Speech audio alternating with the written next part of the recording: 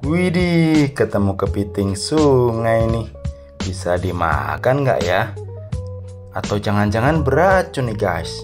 Ah, bodoh amat lah. Yang penting rasa laparnya terobati. Widih, ketemu teman nih guys. Ini hasil buruanku hari ini guys. Ayo kita bersihkan terus dimasak ya. Waduh, dapat udang juga kan? Nah, kita kasih bumbu dulu. Kemudian tuang air. Goreng deh.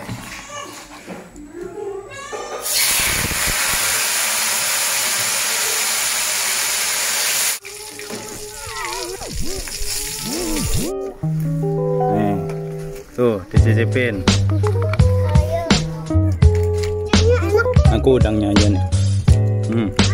Ini ikan kecil nih.